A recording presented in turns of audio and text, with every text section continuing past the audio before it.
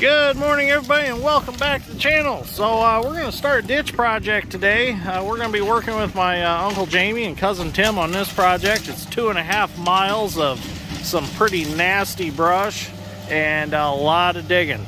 So we've got our 220 Hyundai here. We've got our 621 case payloader with the grapples. We got the 608B Timberjack feller buncher. So we're going to start cutting today and uh, see what we can get cut and piled and get some piles burning. Uh, this ditch, we need to go on that side of the road all the way to the highway, and then we will continue on to uh, the uh, south, and uh, wherever it stops on the next road is where, well, a couple roads over is where it stops. That's where we're going to stop. So uh, this is literally gleaner country because up at that farm over there, there's three gleaner combines, like two L2s and an R series. Uh, the two L2s are kind of sitting like their parts machines. And then over at this farm, there are like three gleaners sitting over there. So while I'm over here, I'm gonna uh, get a hold of some of these landowners and see if I can possibly uh, get uh, get onto some of these combines and take a couple home for uh, parts machines. Let's walk over here look real quick and look at what we got going on here. Oh, it's a little rough over there. So, as you can see, this ditch needs uh, a good cleaning. You got stuff like that all the way through. Uh, there's some spots where I think uh, Jamie said there's like three foot or four foot that needs to come out of it. So, going to be a lot of excavator action. I know uh, my viewer Tim's going to enjoy this because uh, we're going to have some Dash 5 Hitachi action here. Uh, yeah, my uncle's 330 digging and he's bringing his 200 and we might end up bringing our 200 yet. We'll see how things go. So let's get in the buncher and get started. All right, let's get started here. I don't know how close we should get to the ditch right here because this is muck. I think we'll be all right though. Feels pretty stable.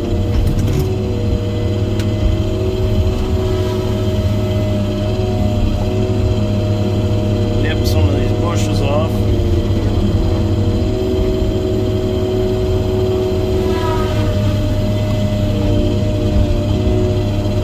Time to give this ditch a haircut.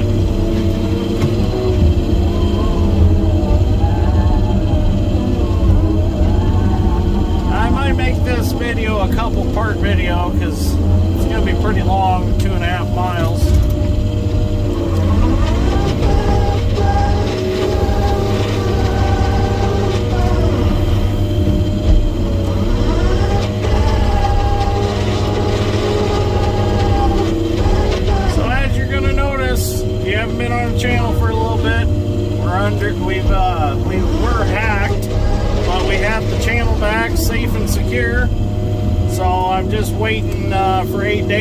Up so I can change my name back to Dirt Grain and Steel for Monies.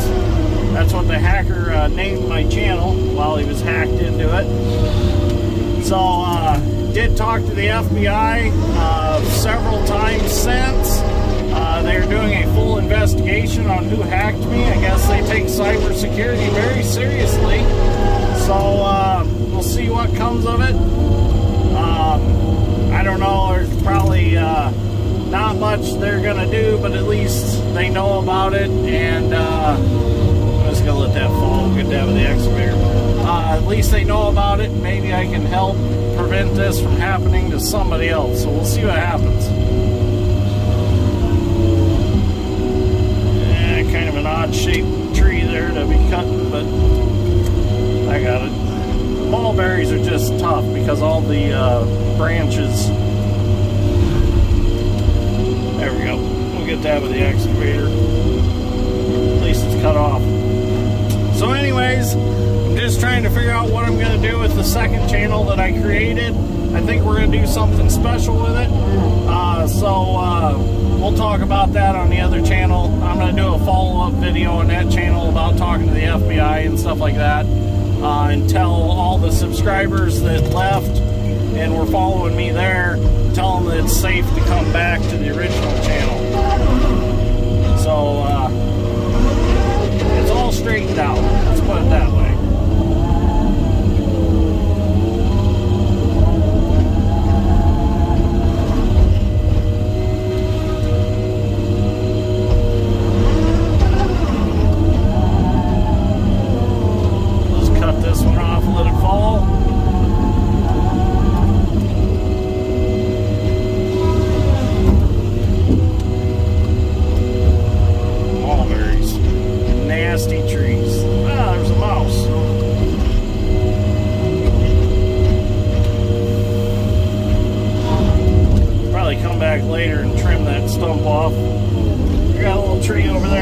Get.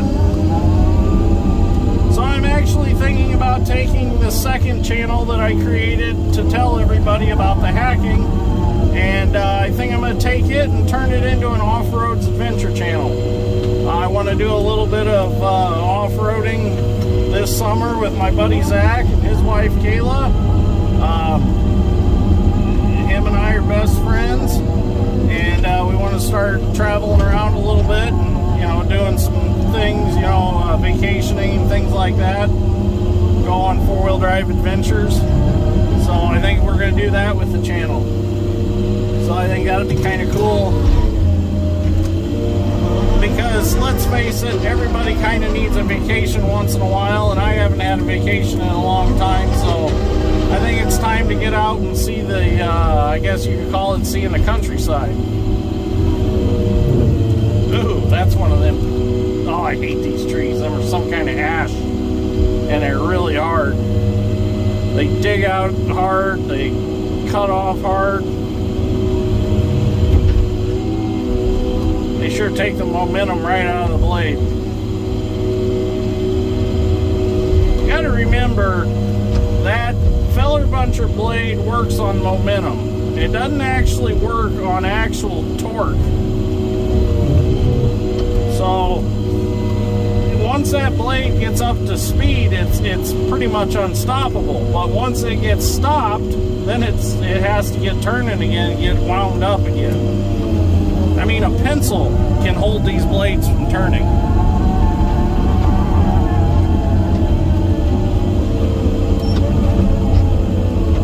Still a lot safer than a chainsaw, though. And it don't get poison ivy. Shows up to work on time.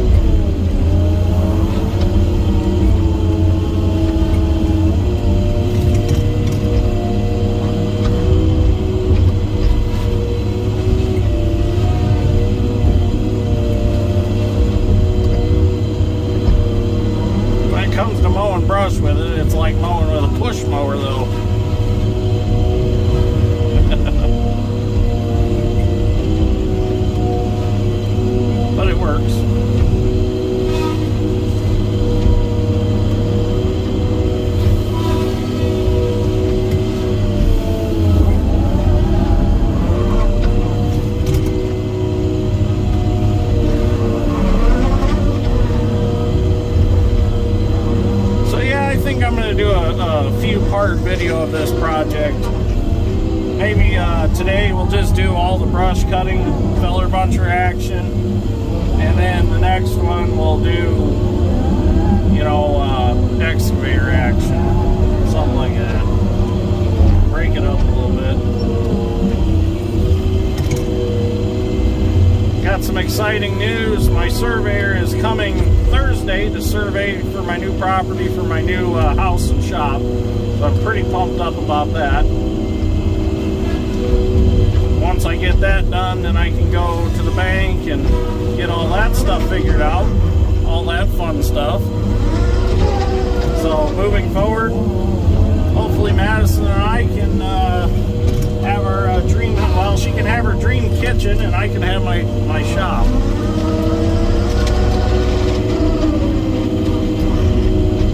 All she wants is white cabinets and a spice drawer. That's all I've heard. She wants, wants that spice drawer. I'm like, well, if I can have whatever I want in my shop, you can have white cabinets and a spice drawer.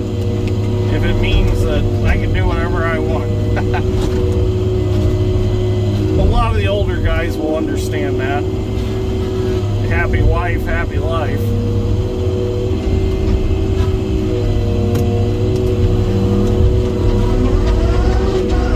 Oh well.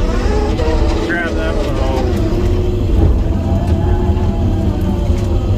In the print on this job, they actually said you could rip anything out of the ditch bank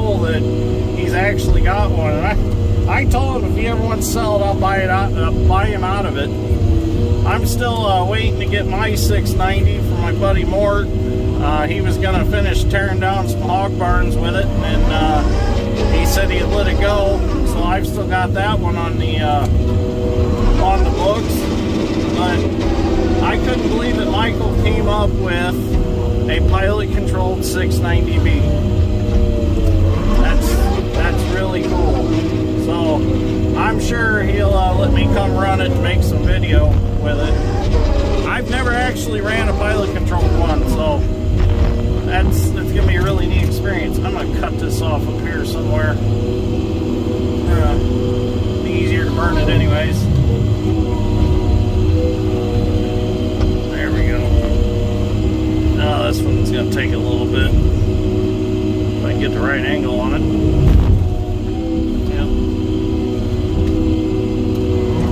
I have to saw cut him. He's an odd shape at the bottom there cut at this angle.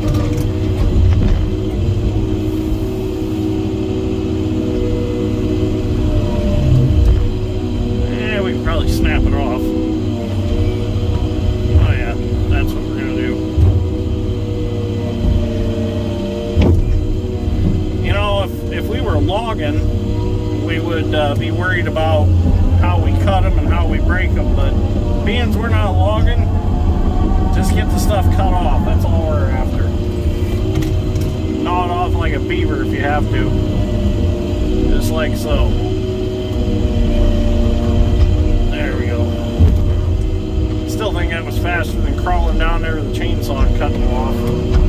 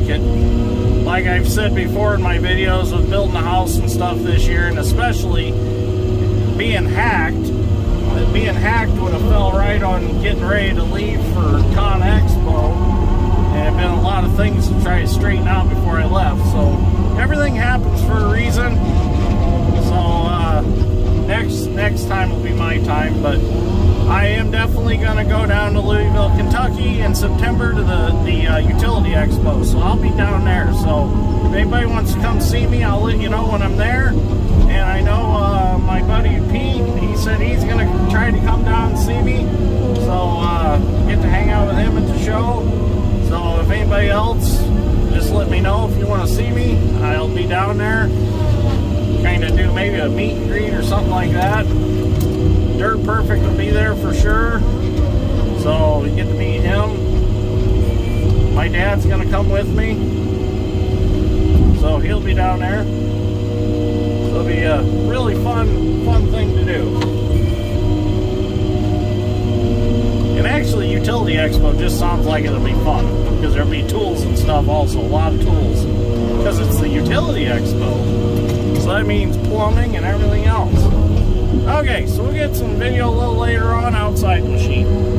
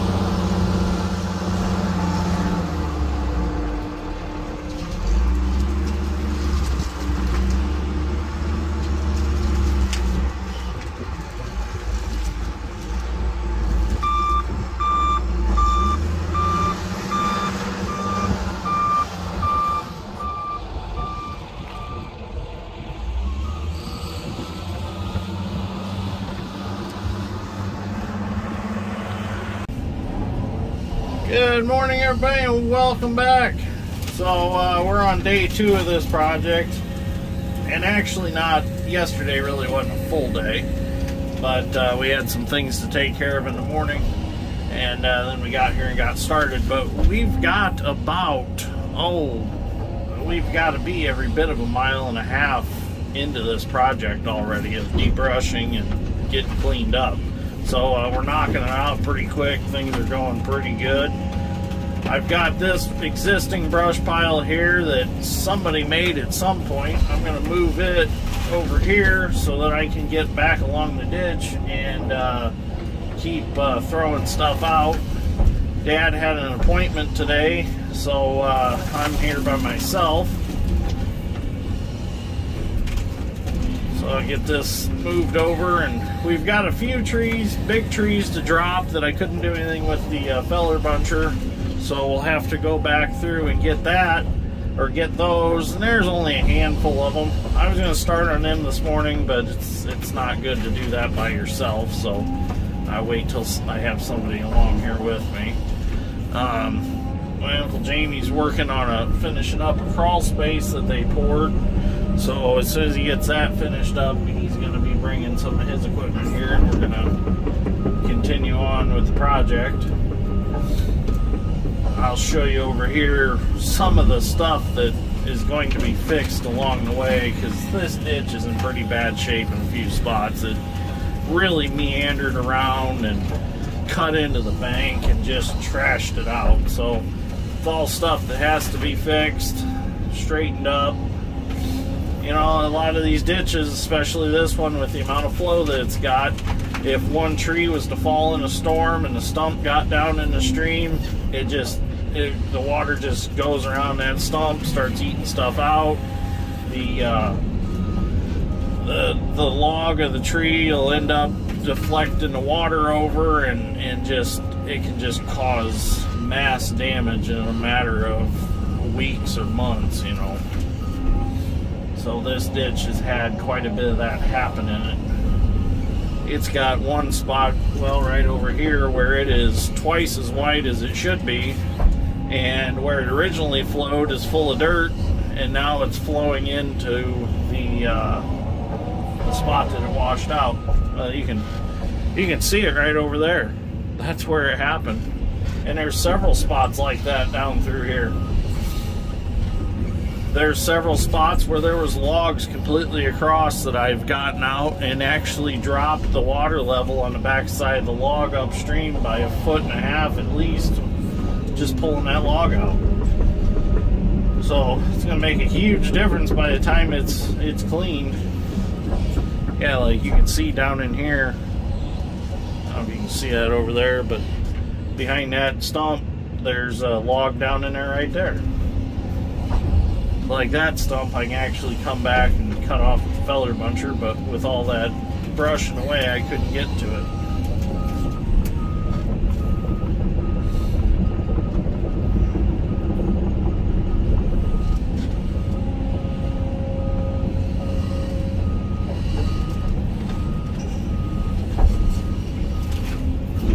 So I actually got some new jewelry coming for the end of the stick of the 220. Um, that Hyundai coupler's coming off, and we're putting a Werk-Brau D-lock on it. Uh, the Werk-Brau D-lock will allow me to grab buckets for the 270 and the 200 Hitachi that we already have, so I can utilize all those attachments. And uh, then I'm, I'm still planning on building a ditch bucket for this machine. I want to build a big one, just like the 270 has. So uh, that D-lock coupler is going to be fantastic because then when I build that new bucket, I can also make it so that bucket will fit on the 200 also.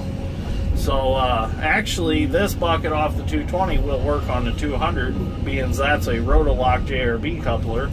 That uh, coupler also accepts different pin width or pin boss widths, uh, pin to pin dimensions, and pin diameters.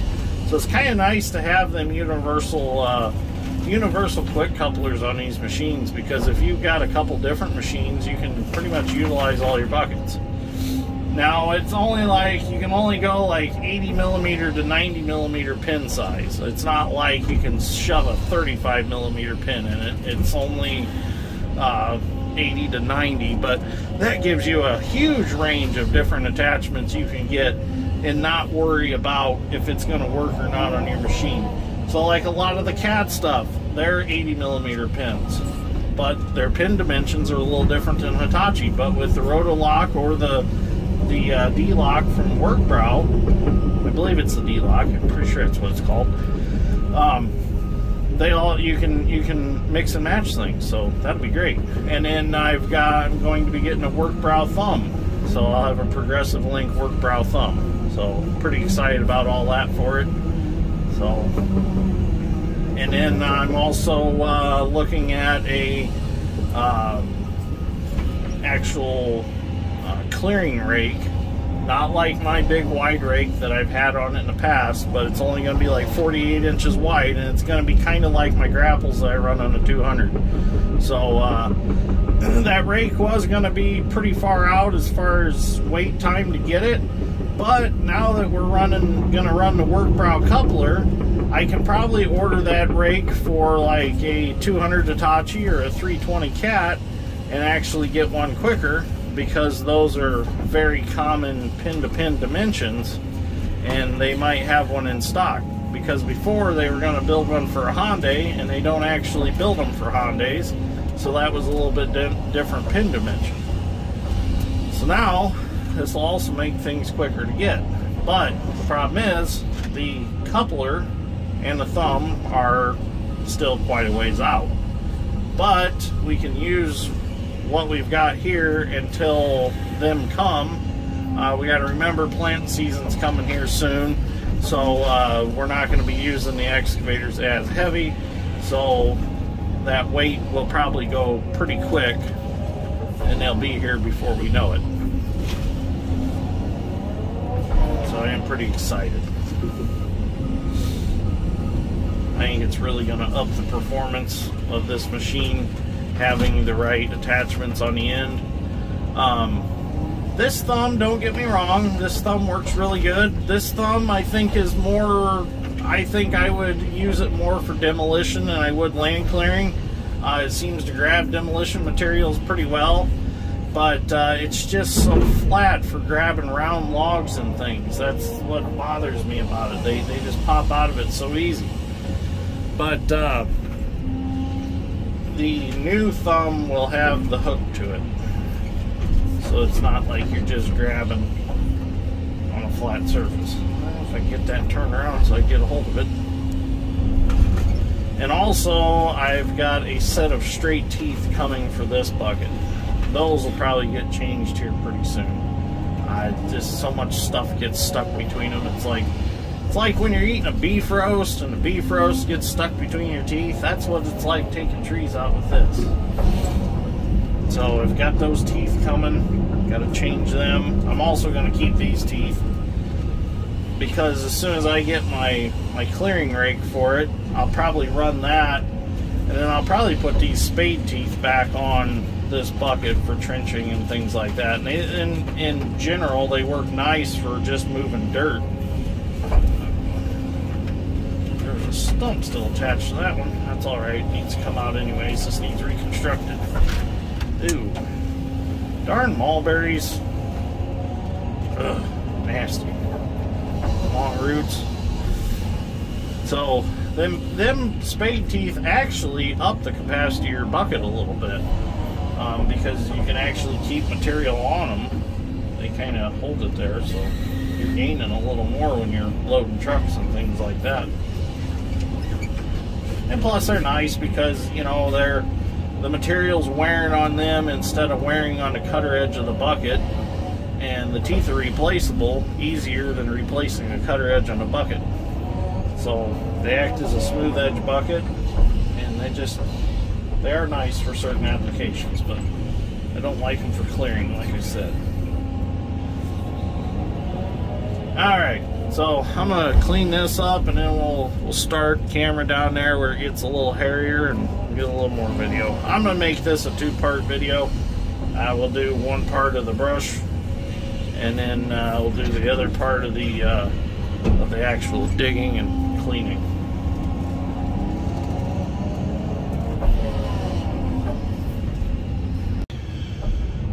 Well, I made it down here to where it gets real hairy. Uh, I got all these stumps to take out, went through with the buncher and cut the tops out of them. That way I didn't have to deal with the tops. since They're mulberry and they're all twisted up and nasty. Get these dug out. Nice thing about this now is the uh, farmer will be able to utilize this ground. He'll be able to farm it. Paying taxes on it, might as well farm it. Actually gained him quite a bit of ground here. All the way across this end.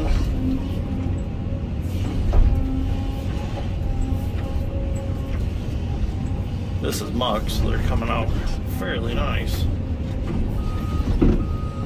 Undercarriage wrong direction. That's alright. We're not doing extreme work, so I'm not too worried about it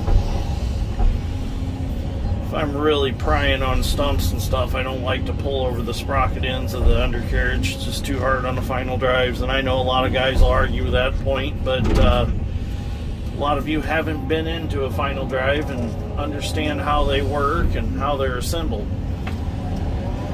Now, the nice thing is with your sprockets this way, if you're on a hill or something, track chain were to break, you uh, you're not going to lose your not going to roll out of your tracks, that's for sure. So there are certain instances you want to work over your sprockets, but this kind of stuff, black ground, doesn't matter. I like to uh, be over my idlers.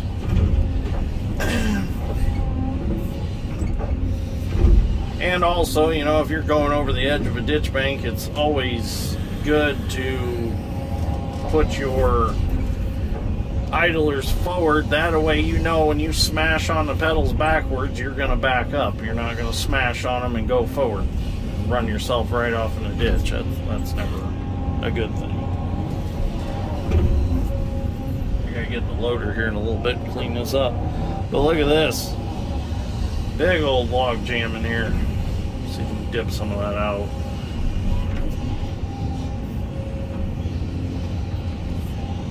A lot of sand in there. See, there's a log in there.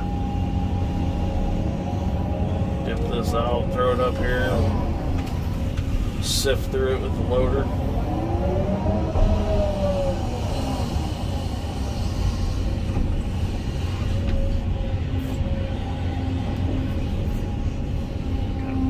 Up a little bit, it keep flowing.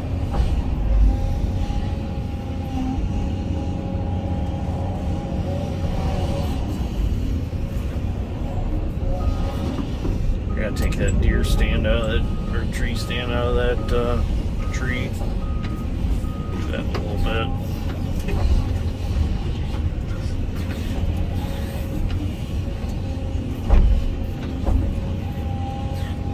Lay it out there in the field. Hopefully somebody will claim it. I hate to destroy them. Some guys will just wad them up and put them in the pile, but if it was mine, I'd want somebody to to respect it and put it where I can find it.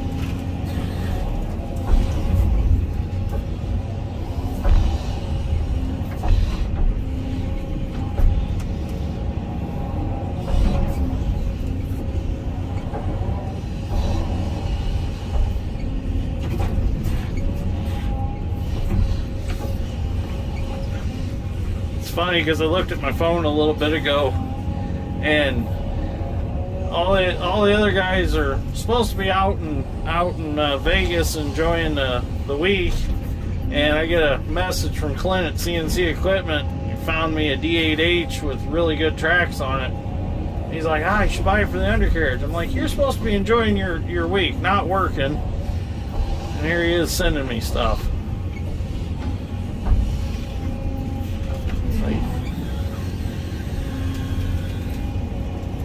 Is a super nice guy, though. I really, I really like Clint there at CNC.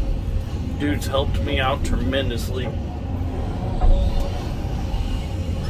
He actually sent me a message when I got hacked. He's like, hey, he's like, let me know if you need some shout outs or something.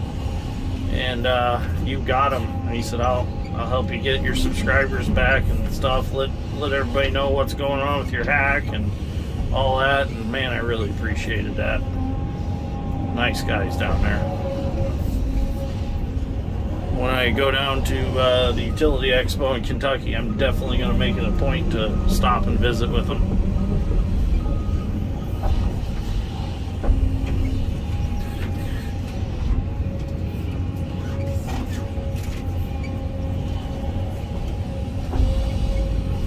I'd probably go see Dirt Perfect too while I'm down there, so you don't get jealous that I visited uh, visited Clint and out him. Maybe get to go see Logger Wade. I think that'd be pretty cool. I haven't got to meet him. I, he's a guy I think I'd really enjoy. So while we're down there, I might make our rounds. If we start the four-wheel drive channel, we might go down there quite a bit. See what happens. There's a lot of trails to be ridden down there.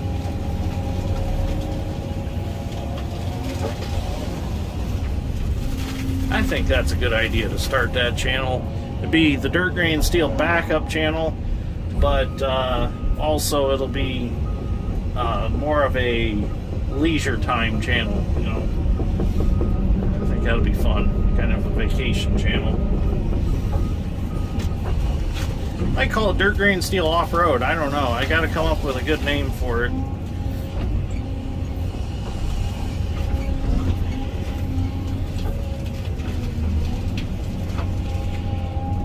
Quite haven't put my finger on a name yet.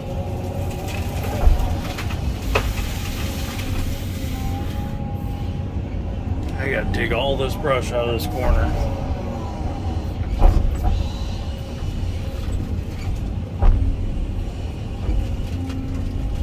Got the surveyor coming today, so I'm probably gonna uh, dip out and go uh, meet with him get the uh, survey going for the new homestead.